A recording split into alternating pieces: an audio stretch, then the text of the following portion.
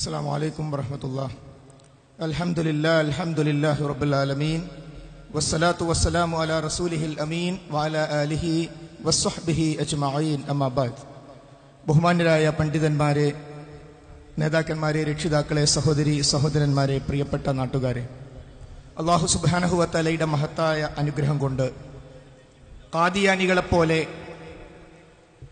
അതേപോലെ പിടച്ച കക്ഷികളെപ്പോലെ കാണേണ്ടവരല്ല മുജാഹിദുകളൊന്നും. ദ്വാഇന്റെ താരീഫ് വന്ന് ചോദിച്ച് മനസ്സിലാക്കുവാനും പഠിക്കുവാനും സമൂഹത്തിന് ചർച്ച ചെയ്യാനും പറ്റുന്ന മുസ്ലിങ്ങളിൽപ്പെട്ട വിഭാഗം തന്നെയാണെന്നും കാര്യങ്ങൾ അങ്ങോട്ടും ഇങ്ങോട്ടും ചർച്ച ചെയ്യേണ്ടതാണെന്നുമുള്ള മഹത്തായ ഒരു സന്ദേശം ഈ മുഖാമുഖത്തിലൂടെ നമുക്ക് ലഭിച്ചിരിക്കുകയാണ്. സഹോദരങ്ങളെ അള്ളാഹു സുബാനഹുവത്തലയുടെ മാത്രം പ്രത്യേകതയായി നാം മനസ്സിലാക്കുന്ന സമസ്തയെന്നോ സെലഫി എന്നോ വ്യത്യാസമില്ലാതെ നമ്മുടെ മദ്രസകളിൽ പഠിപ്പിച്ചുകൊണ്ടിരിക്കുന്ന വിശേഷണങ്ങളുണ്ട്. അള്ളാഹു സുബാനഹുവത്താല സമീ ആണ്. അള്ളാഹു ബസീർ ബസീറാണ് തുടങ്ങിയ വിശേഷണങ്ങൾ. അത്തരം വിശേഷണങ്ങൾ അള്ളാഹു സുബാനഹുവത്താലാക്ക് മാത്രമേ പാടുള്ളൂ എന്ന് പിഞ്ചു കുട്ടിയെ ഒരു പക്ഷേ സ്കൂളിൽ ചേർത്തുന്നതിന് മുമ്പ് തന്നെ മദ്രസയിൽ ചേർത്തിക്കൊണ്ട് നാം പഠിപ്പിക്കുന്ന എല്ലാം കാണുന്നവൻ അള്ളാഹുവാണ് എല്ലാം കേൾക്കുന്നവൻ അള്ളാഹുവാണ് ആ വിശേഷണം റബ്ബ് സുബാനഹുബത്തല അല്ലാത്ത ഒരാൾക്കും കൊടുക്കരുത് എന്ന വിഷയത്തിൽ യഥാർത്ഥത്തിൽ മുസ്ലിം സമൂഹത്തിൽ തർക്കമുണ്ടാകാൻ പാടില്ലാത്തതാണ്. എന്നാൽ പുത്തൻ വാദങ്ങൾ സമൂഹത്തിലേക്ക് വരികയും അള്ളാഹു സുബാനഹുവാത്താലാക്ക് മാത്രം പ്രത്യേകമാക്കപ്പെട്ട കാര്യങ്ങൾ അള്ളാഹു അല്ലാത്തവരിലേക്ക് പോലും കൊടുക്കുന്ന അവസ്ഥയിലെത്തുകയും മടവൂരിൽ മരിച്ചു കിടക്കുന്ന സി എം അബൂബക്കർ മുസ്ലിയാർ അള്ളാഹു കാണുന്നത് പോലെ കാണുകയും കേൾക്കുകയും പ്രവർത്തിക്കുകയും ചെയ്യുമെന്ന് ഒരു കുതിസിയായ ഹദീസിനെ ദുർവ്യാഖ്യാനം ചെയ്തുകൊണ്ട് സമൂഹത്തോട് പഠിപ്പിച്ചുകൊണ്ടിരിക്കുമ്പോൾ അത് ശരിയല്ല. അത് റബ്ബ് സുധാനുഭവത്തലയുടെ മാത്രം പ്രത്യേകതയാണ്. നാളെ പരലോകത്ത് ഓരോരുത്തരും ഒറ്റക്കൊറ്റക്ക് ഹാജരാകുന്ന ഒരു രംഗമുണ്ട്. ആ സന്ദർഭത്തിൽ റബ്ബ് സുബാനഹുമത്തലയുടെ മുമ്പിൽ ഈ ലോക ജീവിതത്തിന് നാം കൈകെട്ടി നിന്ന് ഉത്തരം പറയേണ്ടി വരും. അവിടെ റബ്ബിന്റെ സിഫത്തുകൾ റബ്ബല്ലാത്ത ഒരാൾക്കും പങ്കുവെക്കുന്ന ഒരവസ്ഥ ഉണ്ടാകരുത് എന്ന നിർബന്ധ ബുദ്ധിയാണ് സഹോദരങ്ങളെ. കാലങ്ങളായി ഈ മഹത്തായ സന്ദേശം മുജാഹിദ് പ്രസ്ഥാനം പറഞ്ഞുകൊണ്ടിരിക്കുവാനുള്ള കാരണം. ഇവിടെ മുഖ മുഖാമുഖത്തിൽ പോലും എല്ലാവരും അംഗീകരിക്കുന്നു തങ്ങൾ അംഗീകരിക്കുന്നു എന്ന് പറഞ്ഞ ഒരു ഇമാമിന്റെ വ്യക്തമായ ഉദ്ധരണി പറയുകയും അതിന്റെ അർത്ഥം വെക്കുകയും ചെയ്തത് അതിൽ കിടന്ന് വല്ലാതെ ബുദ്ധിമുട്ടിയ രംഗം. ഇതേ മുഖാമുഖത്തിന്റെ രംഗങ്ങൾ ഇൻഷാ അല്ല മണിക്കൂറുകൾ കഴിയുമ്പോൾ അത് യൂട്യൂബിൽ വരും. ആ യൂട്യൂബിൽ ആരാണ് അതിന്റെ മലയാളത്തിലുള്ള അർത്ഥം ആദ്യമായി വെച്ചത്? കമ്പ്യൂട്ടർ കളവ് പറയില്ല. മനുഷ്യന്മാർ കളവ് പറഞ്ഞേക്കാം. ആ യൂട്യൂബിലൂടെ ഈ നല്ലെടുത്ത മുഖാമുഖം ചരിത്രമായി മാറുകയാണ്. ഇവിടെ പറഞ്ഞ ഇമാം പറഞ്ഞ ആ ഉദ്ധരണി ആരാണ് അറബിയിൽ പറഞ്ഞത്? ആരാണ് ആ ഉദ്ധരണിയുടെ ഹർഫും ബിഹർഫായി മലയാളത്തിൽ ആരാണ് ഇവിടെ അതിനെ തർജമ കൊടുത്തത്. ഇൻഷ അല്ലാ അടുത്ത മണിക്കൂറുകൾക്കുള്ളിൽ നമുക്ക് വീണ്ടും കാണാം. സഹോദരങ്ങളെ സന്തോഷമുള്ള കാര്യം ഈ സ്റ്റേജിന്റെ മുൻഭാഗത്തുള്ള ഒരു നിരയിൽ നേരത്തെ തയ്യാറായി വന്ന ആളുകൾക്കപ്പുറത്ത് ഇതിന്റെ ചുറ്റുഭാഗത്തും നൂറുകണക്കിന് ആളുകൾ എന്താണ് പറയുന്നത്? എന്താണ് അവിടുന്ന് മുസ്ലിയാർ പറയുന്നത്? എല്ലാം സാഗൂതം കേട്ടുകൊണ്ട് ഇവിടെ ഉണ്ടായിരുന്നു എന്നതാണ്. അതുകൊണ്ട് യൂട്യൂബ് കാണാതെ തന്നെ ആരാണ് ഈ സദസ്സിൽ വെച്ച് പോലും പറഞ്ഞ കാര്യം പറഞ്ഞിട്ടില്ല എന്ന് വ്യക്തമായി പറഞ്ഞത് എന്ന് നമുക്ക് ബോധ്യമുണ്ട്. അതുകൊണ്ട് സഹോദരങ്ങളെ ഈ കാലഘട്ടത്തിലെ ഉദാഹരണമായി നമ്മുടെ മുമ്പിലുള്ളതാണ്. ബോംബെയിൽ നിന്നും കൊണ്ടുവന്ന ഒരു മുടി ഹബീബായ മുഹമ്മദ് മുസ്തഫ. നബി കരീം സല്ലാഹു അലഹി വസ്ലമയുടേതാണ് എന്ന് കളവ് പറഞ്ഞു എന്ന് മുജാഹിദുകൾ മാത്രമല്ല ഔദ്യോഗിക സമസ്തക്കാർ വെല്ലുവിളിച്ചു ആ മുടിയുടെ സരത് കൊണ്ടുവരാൻ സാധിക്കുമോ എന്ന്. അഥവാ വിഷയാധിഷ്ഠിതമാണ് കാര്യങ്ങൾ. ഇവിടെ ചോദ്യം ചോദിച്ച ആളുകൾ നെല്ലിക്കുത്തി ഇസ്മായിൽ മുസ്ലിയാരുടെ ഗ്രന്ഥത്തിൽ അഹുലുസുന്നയുടെ ഒരു പണ്ഡിതനും പറയാത്ത ഒരു ഉദ്ധരണി കൊടുത്തിട്ടുണ്ട് എന്ന് പറഞ്ഞപ്പോ അതിനെപ്പറ്റി പരാമർശിക്കാതിരുന്നപ്പോൾ തന്നെ മനസ്സിലായി ആ എവിടുന്നാണ് ഇത്തരം വാദങ്ങൾ ലഭിച്ചത് എന്ന്. അതുകൊണ്ട് ഇവിടെ പറഞ്ഞതുപോലെ ഇമാമിന്റെ ഉദ്ധരണി വ്യക്തമായി പഠിക്കുന്നതോടൊപ്പം മുടി ഇവിടെ ചർച്ചാ വിഷയമായതുകൊണ്ട് തന്നെ പറയാം. പേരോട് മർക്കസ് സമ്മേളനത്തിൽ വെച്ച് ഇതാ ആ മുടിയുടെ സെനത് വായിക്കാൻ പോകുന്നു എന്ന് പറഞ്ഞപ്പോ അള്ളാഹു അക്ബർ എന്ന് ഇവിടുന്ന് പറഞ്ഞതിനേക്കാളും ആയിരം ഇരട്ടി കുതിര ശക്തിയിൽ അള്ളാഹു അക്ബർ എന്ന് പറഞ്ഞു തുള്ളി എന്നിട്ട് അവിടെ വെച്ച് പേരോട് സനത് വായിച്ചു. ആ സനത് ഇപ്പോഴെന്തേ കാണാത്തത്? ആ സനത് ശരിയാണെങ്കിൽ ഈ നല്ലളം ഭാഗത്ത് ഉള്ള ധാരാളം വാട്സപ്പ് ഗ്രൂപ്പുകളുണ്ട്. ഒന്ന് പോസ്റ്റ് ചെയ്യൂ. പ്രവാചകന്റെ മുടിയുടെ സനതായി പേരോട് വായിച്ചത് യഥാർത്ഥ സെനതാണെങ്കിൽ ആ സനത് ഇന്ന് രാത്രി ഈ നല്ലിടത്ത് ഒന്ന് പോസ്റ്റ് ചെയ്യൂ. വ്യാജമുടി ഒരു പോസ്റ്റ്മോർട്ടം റിപ്പോർട്ട്. ടി അബ്- ടി അബ്ദുസമദ് വാണിയബലം ഇത് മുജാഹിദല്ല. സമസ്തയാണ് ശരി എന്ന് അംഗീകരിക്കുന്നു. ഞങ്ങൾ ഇങ്ങനെ ഒരു പുസ്തകം പോലും ഇറക്കിയിട്ടില്ല. പ്രവാചകന്റേതല്ലാത്ത ഒരു മുടി പ്രവാചകന്റേതാണെന്ന് കളവ് പറഞ്ഞ് തെളിവുദ്ധരിക്കാൻ പറ്റാതെ പത്രസമ്മേളനത്തിൽ കാന്തപുരം പങ്കെടുത്ത പത്രസമ്മേളനത്തിൽ പത്രക്കാർ ചോദിച്ചു നിങ്ങളെ ഭാഗത്താണ് ശരിയെങ്കിൽ അതിന്റെ ഒരു കോപ്പി തരൂ. അപ്പൊ എന്താ പറഞ്ഞത്? ദുബായിലേക്ക് പോകാന് ഓരെ വിളിച്ചിട്ട് ഓര് വരുന്നില്ല. പത്രക്കാർ ചോരന്തിനാ വരുന്നത്? നിങ്ങൾ മർക്കസ് നല്ലേ സെനത് വായിച്ചത്? ആ കോപ്പി ഞങ്ങൾക്ക് തന്നാ പോരെ? ഞങ്ങൾ പ്രസിദ്ധീകരിച്ചോളാം. കോഴിക്കോട് പത്രസമ്മേളനത്തിൽ സംഭവിച്ചതാ. അതുകൊണ്ട് പ്രവാചകന്റെ മുടിയുടെ പേരിൽ കളവ് പറയുന്ന ആളുകൾക്ക് ഈ സമൂഹത്തെ ദ്വയുടെ പേരിൽ കളവ് പറയുമെന്ന കാര്യത്തിൽ ഒരു തർക്കവും മനുഷ്യ മനസ്സുകളിൽ ഉറച്ചു നിൽക്കുന്ന ഒരു പരാമർശം ഇവിടുന്ന് വന്നു. മുലിയാരെ ഒന്ന് ദ്വാരക്കി എന്ന് പറയുമ്പോ എന്താ ഉദ്ദേശിക്കുന്നത് എന്ന് മുലിയാരല്ലാത്ത എല്ലാവർക്കും മനസ്സിലായിട്ടുണ്ട്. ഞാൻ ശ്രദ്ധിച്ചു. അത് പറഞ്ഞപ്പോൾ നല്ലിടത്തെ മുജാഹിദുകളല്ലാത്ത ധാരാളം ആളുകൾ തലയാട്ടുന്നുണ്ടായിരുന്നു. അതെ അതുകൊണ്ട് കുറെ കാലം ആളുകളെ പറ്റിക്കാൻ ഒരിക്കലും സാധ്യമല്ല. അതുകൊണ്ട് സഹോദരങ്ങളെ ഈ മുഖാമുഖം ചർച്ചയാക്കിയത് ഈ മുഖാമുഖം വിജയിപ്പിച്ചത് ഇവിടുത്തെ കാന്തപുരം വിഭാഗമാണ്. അവരുടെ അഗൈതവമായ നന്ദി. ഒരു കാലത്തും മറക്കില്ല. കാരണം അവർ പറഞ്ഞതും ഞങ്ങൾ അങ്ങനെ അർത്ഥം പറഞ്ഞിട്ടില്ല എന്ന് പറഞ്ഞതും നേരത്തെ പറഞ്ഞതുമൊക്കെ യൂട്യൂബിലേക്ക് കൊടുത്ത് ഒരു ചരിത്രമാക്കി മാറ്റാൻ ഔദ്യോഗിക സമസ്തക്കാർ വരില്ല. അവരത്ര ഉഷാറാവുന്നില്ല. ഞങ്ങളുടെ പ്രബോധനത്തിന് കാന്തപുരം വിഭാഗം വരണം. അവരാണ് ഞങ്ങൾക്ക് വേദി തരുന്നത്. അവർ വന്നാൽ അവിടെ നാല് മുജാഹിദ് ഉണ്ടാകും. കാരണം അവർ അവരുടെ അടുത്തുള്ള പടച്ചവാദങ്ങൾ പരസ്യമായിട്ട് ചോദിക്കും. മുസ്ലിയാക്കന്മാര് വന്ന് അത് ചോദിക്കുമ്പോ ആൾക്കാരൊക്കെ വരൂലേ? എന്നിട്ട് ജനങ്ങളോട് പറയും സമസ്ത മുജാഹിദുള്ള പരിപാടിക്ക് പോകരുത് ചിരിക്കരുത് സലാം പറയരുത്. ഓർക്ക് വരികയും ചെയ്യാ ചോദ്യം ചോദിക്കുകയും ചെയ്യാ. അപ്പൊ ബാക്കിയെല്ലാരും വരില്ലേ? വമ്പിച്ച വൈരുദ്ധ്യങ്ങളായി ഇവിടെ നടന്നുകൊണ്ടിരിക്കുന്നത്. അതുകൊണ്ട് അൽഹംദുലില്ല ഈ മുഖാമുഖം നല്ലടത്തിന്റെ ചരിത്രത്തിലേക്ക് ഇടം പിടിക്കുകയാണ്. ഇവിടെ സഹോദരങ്ങളെ ഏതാനും ചില കാര്യങ്ങൾ മാത്രം നമ്മുടെ ശ്രദ്ധയിലേക്ക് കൂട്ടിച്ചേർക്കുവാൻ ഞാൻ ഉദ്ദേശിക്കുകയാണ്.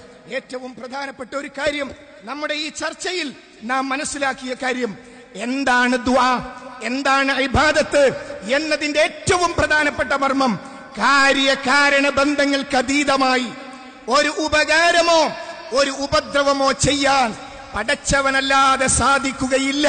അങ്ങനെ സാധിക്കുമെന്ന് വിശ്വസിച്ചാൽ തന്നെ ഷിർക്കായി കാര്യകാരണ ബന്ധങ്ങൾക്ക് അതീതമായി ഒരു ഷെയ്ഖ് ജീവിച്ചിരിക്കട്ടെ മരണപ്പെട്ടു പോകട്ടെ ജിന്നാകട്ടെ മലക്കാകട്ടെ കാര്യകാരണ ബന്ധങ്ങൾക്ക് അതീതമായി ഒരു ഉപകാരമോ ഉപദ്രവമോ ചെയ്യുമെന്ന് വിശ്വസിച്ചാൽ തന്നെ അത് ഷിർക്കായി മാറും. പരാമർശത്തിൽ നിങ്ങൾക്ക് ജിന്നിനോട് ഇഷ്ടമുണ്ട് എന്ന് പറഞ്ഞപ്പോ അതിന് വ്യക്തമായ മറുപടി കിട്ടി. കുത്തുബിയത്തിന്റെ തുടക്കത്തിൽ നിന്ന് വായിച്ചു. പിന്നെ മുസ്ലിം അതിനെ കുറിച്ച് മിണ്ടിയിട്ടില്ല. ആ വിഷയം വന്നതുകൊണ്ട് പറയട്ടെ ജിന്നിന്റെ വിഷയത്തിൽ മുജാഹിദ് പ്രസ്ഥാനത്തിൽ വിഷയമുണ്ടായി എന്ന് പറയാനും ശ്രദ്ധിച്ചു. അൽഹംദുലില്ല അത് പറഞ്ഞുകൊണ്ട് ഇപ്പോഴത് അത് പരാമർശിച്ച് അല്പകാര്യങ്ങൾ കൂട്ടിച്ചേർക്കാൻ സാധിക്കുന്നത്.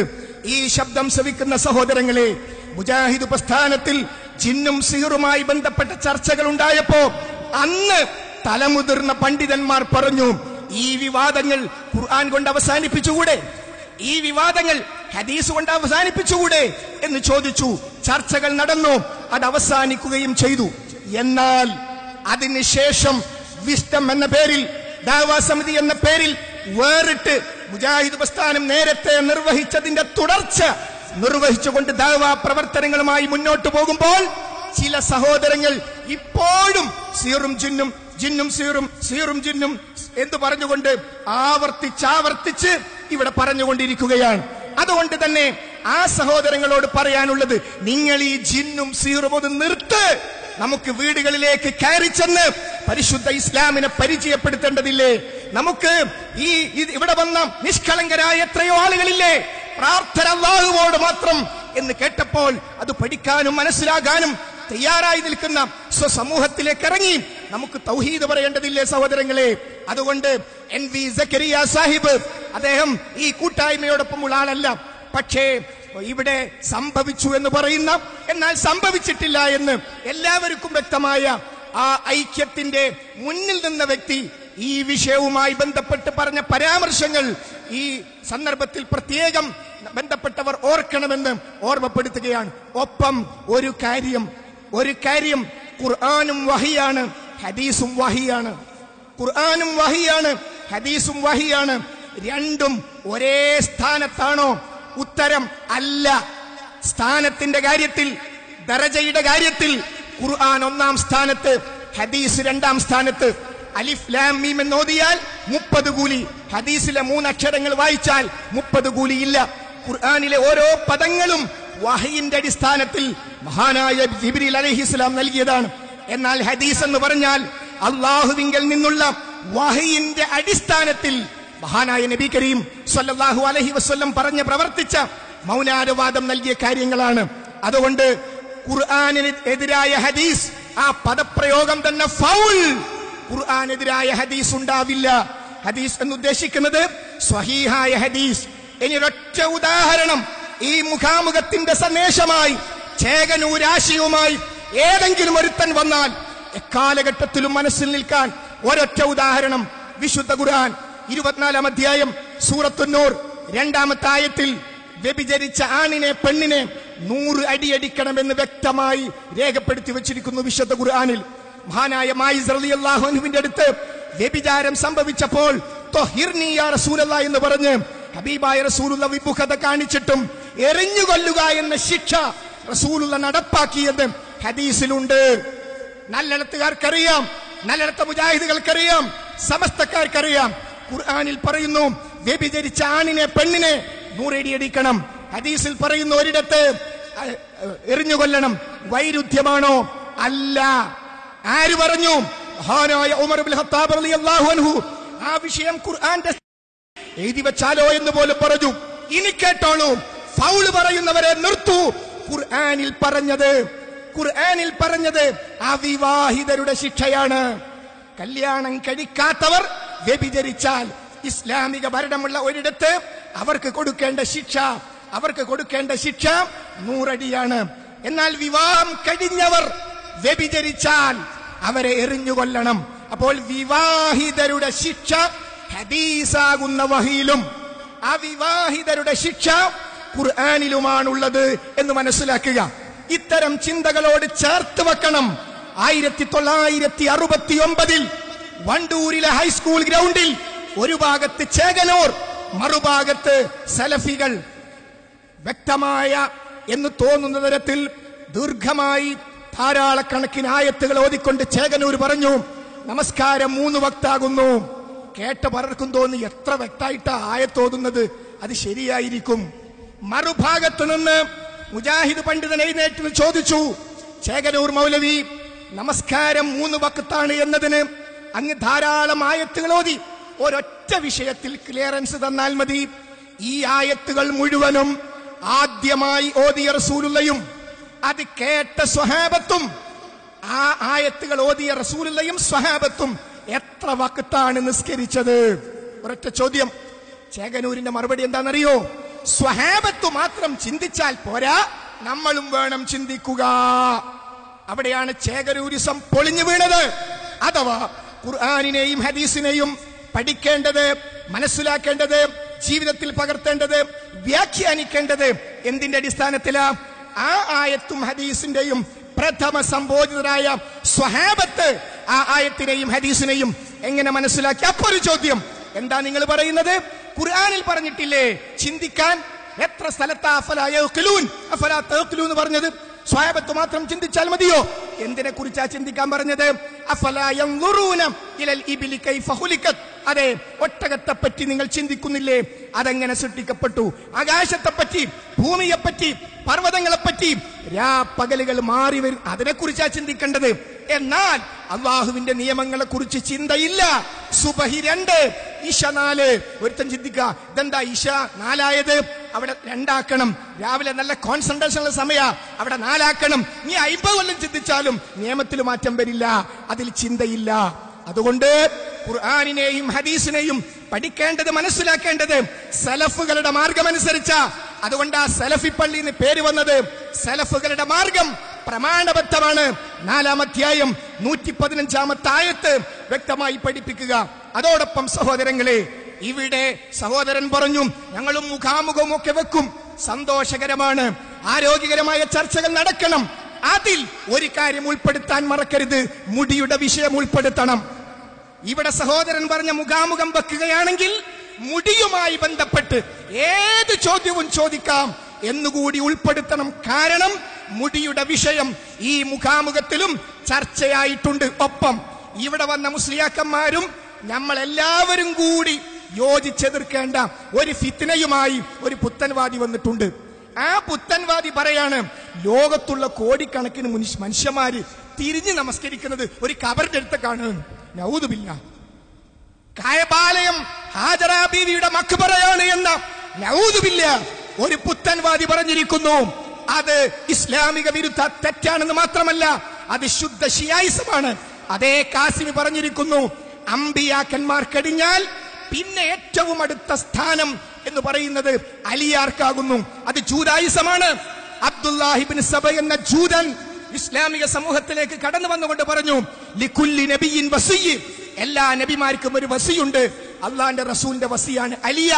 ആ ജൂതന്റെ ആ തനിയാവർത്തനം റഹ്മത്തുള്ള കാസിമി പറഞ്ഞെങ്കിൽ അലഹമില്ല നല്ലണത്തെ ഔദ്യോഗിക സംസ്ഥയുടെ പള്ളി പോലും അംഗീകരിച്ചില്ല കാസിമിയെ അവരിപ്പോഴും രണ്ടാമത്തെ കുത്തുബയിൽ ഒന്നാമതായി പറയുന്നത് അബുബക്കർ സിദ്ദീഖ്. അലഹമില്ലാത പറഞ്ഞത്? ഇവിടെ വന്ന മുസ്ലിയാക്കന്മാരും നമ്മൾ എല്ലാവരും കൂടി എതിർക്കേണ്ട ഒരു ഷിയാവാദം ഒരു പുത്തൻവാദവുമായിട്ട് ഒരുത്തം വന്നിരിക്കുന്നു. മനുഷ്യന്മാർ സഹോദര പള്ളിനുള്ളിൽ കബർ വെക്കാൻ പാടുണ്ടോ?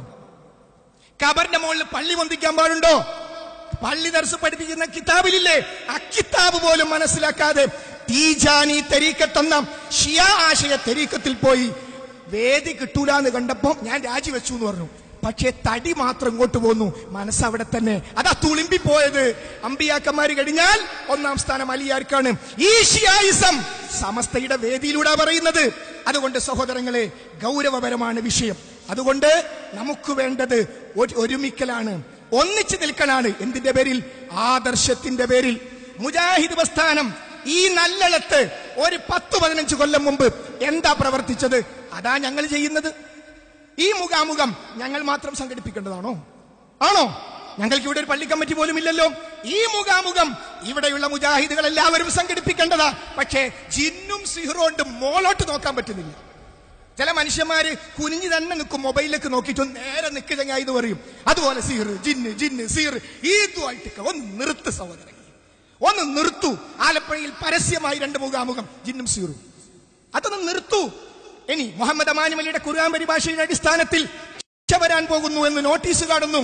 മുഹമ്മദ് അമാനിമയുടെ ഖുർആൻ പരിഭാഷയിൽ നൂറ്റി പതിമൂന്ന് പതിനാല് അധ്യായത്തിൽ കണ്ണേറ് തട്ടാതിരിക്കാൻ ഇബ്രാഹിം നബി അലൈഹിസ്സലാം തന്റെ മക്കൾക്ക് വേണ്ടി പ്രാർത്ഥിച്ച പ്രാർത്ഥന. ഹബീബായ റസൂലുള്ള തന്റെ പേരക്കുട്ടികൾക്ക് വേണ്ടി ദുആ ചെയ്ത ബുഹാരി ഹദീസ് ഉണ്ട് അത് ഷിർക്കാണെങ്കിൽ ഷിർക്ക് പഠിച്ചിട്ട് പരീക്ഷ എഴുതാനാ പറയുന്നത്? മുഹമ്മദ് അമാനി മൗലവിയുടെ ഇവിടെ സമസ്തക്കാരുടെ അറബി കോളേജിൽ പോലും ഡെസ്കിന്റെ ഉള്ളിൽ സാധനം ഉണ്ടാവും. അത്രമാത്രം അഹിലുസുന്നയോട് പ്രതിബദ്ധതയുള്ള ആ തഫ്സീറിൽ പോലും ഷിർക്കുണ്ട് എന്ന തനിച്ചേകനൂരിയം വാദങ്ങൾ പറയുന്നതിന് മുമ്പ് വിശുദ്ധ ഖുർആൻ രണ്ടാം അധ്യായം സൂറത്ത് ബക്കറ നൂറ്റി രണ്ടാമത്തെ ആയത്തിൽ സിഹർ ബലിയെ കുറിച്ച് ഫലിക്കിനെ കുറിച്ച് എന്താ പറഞ്ഞത്. അള്ളാഹുവിന്റെ അനുമതിയോടുകൂടി അല്ലാതെ സിഹർ കൊണ്ടൊരു ഉപദ്രവം ഉണ്ടാവുകയില്ല എന്ന് വ്യക്തമായി പറഞ്ഞു. അതുകൊണ്ട് സഹോദരങ്ങളെ സിഹർ ചെയ്യരുത് ചെയ്യിപ്പിക്കരുത് പകരം ചെയ്യരുത് കുഫറാണ്.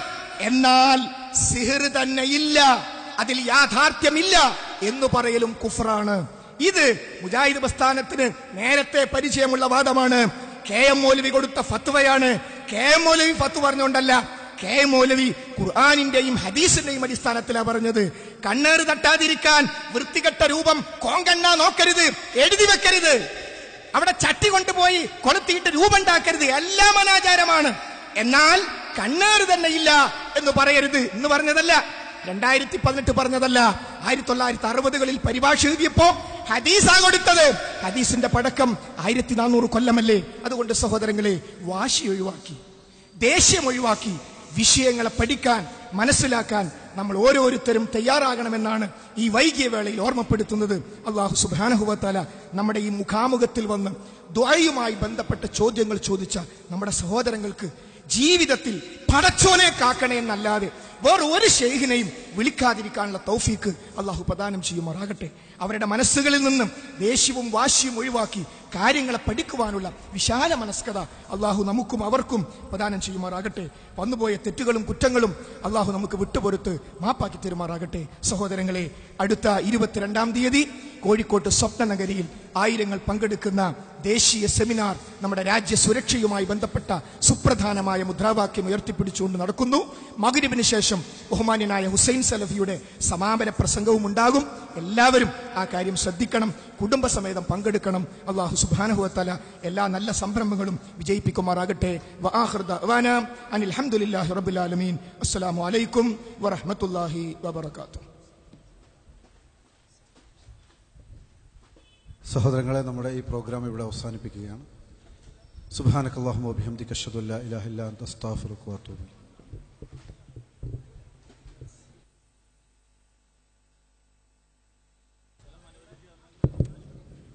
അസ്സാം വലൈക്കും ഒന്ന് രണ്ട് അറിയിപ്പുകളുണ്ട് നമ്മുടെ വളണ്ടിയർമാരാരും ഇവിടുന്ന് എല്ലാ നിർദ്ദേശങ്ങളിൽ കിട്ടാതെ ഇവിടുന്ന് ആരും പോകരുത്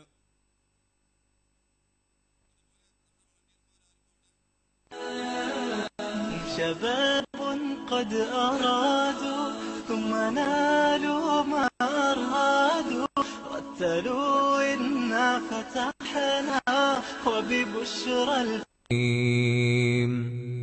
Peace Radio. Tune to reality.